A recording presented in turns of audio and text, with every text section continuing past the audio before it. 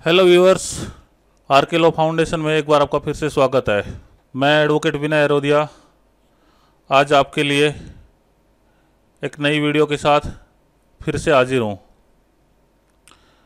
आज की हमारी वीडियो होगी हिंदू मैरिज एक्ट 1955 के जो इम्पोर्टेंट सेक्शन हैं, उन पर ये सेक्शंस आपको जुडिशल सर्विसेज़ के साथ साथ प्रैक्टिस में भी बहुत मदद करेंगे। अगर आपको मेरी वीडियो पसंद आती है तो प्लीज़ लाइक शेयर और कमेंट करके बताएँ। इसी के साथ मेरे यूट्यूब चैनल आर के लो फाउंडेशन को सब्सक्राइब भी करें। तो फ्रेंड्स, चलिए अब हम शुरू करते हैं हिंदू मैरिज एक्ट 1955 के जो इम्पोर्टेंट सेक्शन है, वो देखते हैं। तो इसमें पहले तो ये देखेंगे कि इसमें कितने चैप्टर हैं। हिंदू मैरिज एक्ट 1955 में टोटल छः चैप्टर हैं और टोटल सेक्शन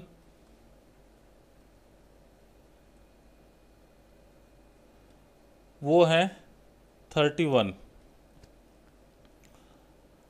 हर जुडिशल सर्विस एग्जामिनेशन में लगभग हिंदू मैरिज एक्ट 1955 से दो या तीन क्वेश्चन आते हैं।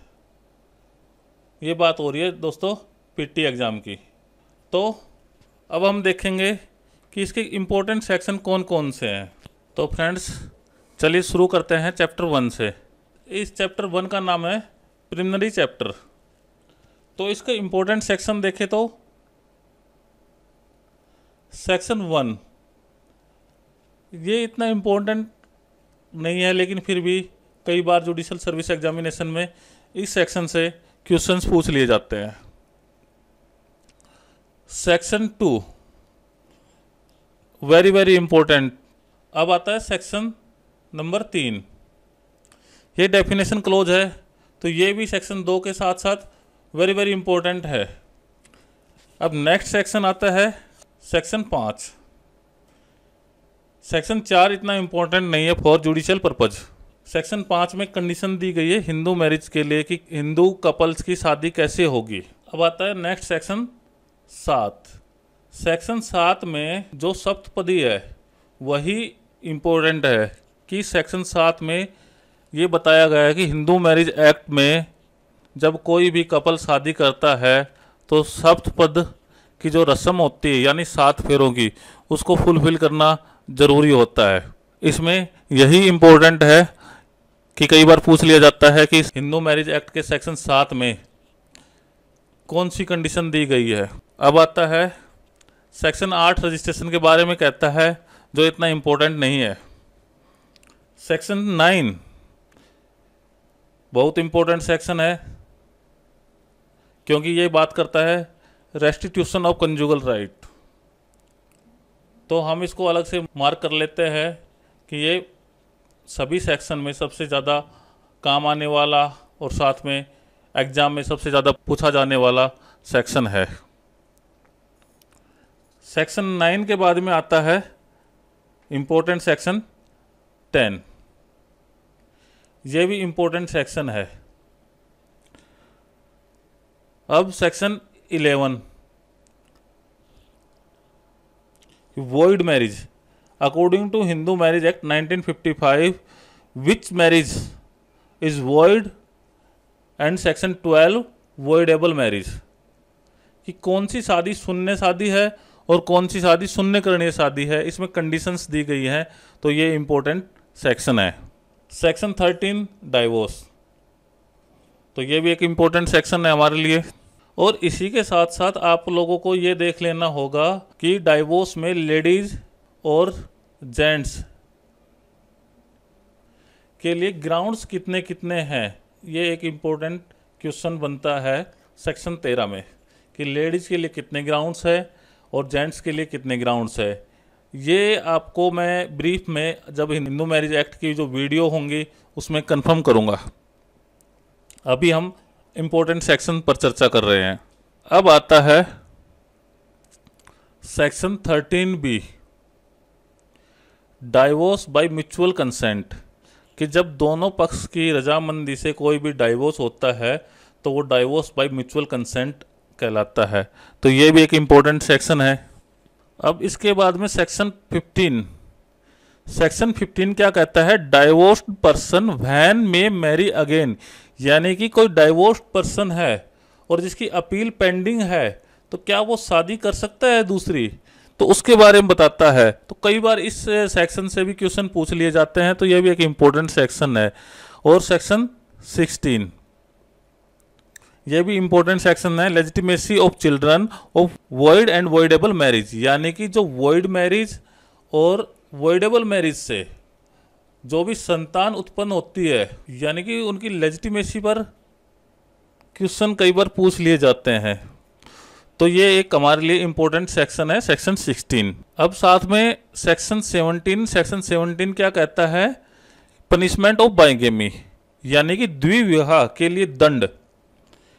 इसके साथ में आईपीसी के सेक्शन चलते हैं 494 और 495 ये भी आईपीसी के पर्पज से इम्पोर्टेंट सेक्शन है और सेक्शन 17 ये एक ज्वाइंट सेक्शन के रूप में काम करते हैं। सेक्शन 17 के बाद में आता है सेक्शन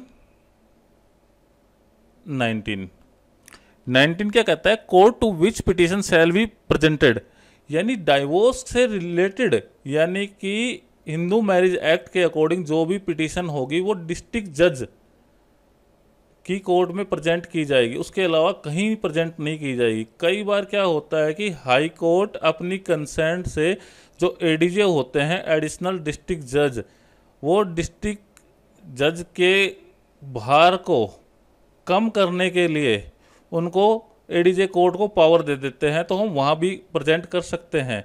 कई बार ये क्वेश्चन भी पूछा गया है जुडिशल सर्विस एग्जामिनेशन में, क्या ADJ court Hindu marriage act से रिलेटेड कोई भी पिटिशन एडमिट कर सकता है? तो इसका आंसर होगा यस अब चलते हैं नेक्स्ट सेक्शन की ओर।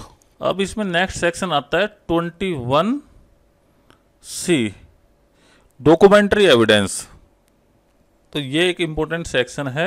अब इसी के साथ सेक्शन 22 सेक्शन 22 क्या कहता है? Proceedings to be in camera and may not be printed और पब्लिश्ड यानी कि जो कैमरा प्रोसीडिंग्स होती हैं कैमरा प्रोसीडिंग्स का मतलब होता है कि अगर इसका वर्ड का मीनिंग देखें तो हम कैमरा प्रोसीडिंग बहुत से स्टूडेंट ये समझते हैं कि जो भी पिटीशन पर कार्रवाई होती है कैमरा प्रोसीडिंग होती है, उसमें कैमरे के सामने प्रोसीडिंग होती है। इसका मतलब ये नहीं होता है।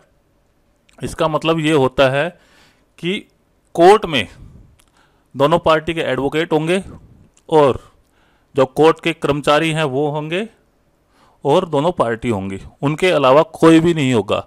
तो इसे कैमरा प्रोसीडिंग कहते हैं। ना कि एक कैमरे के सामने प्रोसीडिंग अब नेक्स्ट सेक्शन देखें तो सेक्शन 24 24 भी एक बहुत इंपॉर्टेंट सेक्शन है फॉर जुडिशियल सर्विसेज़ इसके बाद में सेक्शन 25 25 में क्या कहा गया है? परमानेंट एलिमनी एंड मेंटेनेंस यानी कि कोई भी केस डिसाइड हो जाता है उसमें मेंटेनेंस अवार्ड हो जाता है तो कई बार ये होता है कि परमानेंट एलिमनी या मेंटेनेंस देने का प्रोविज़न होता है।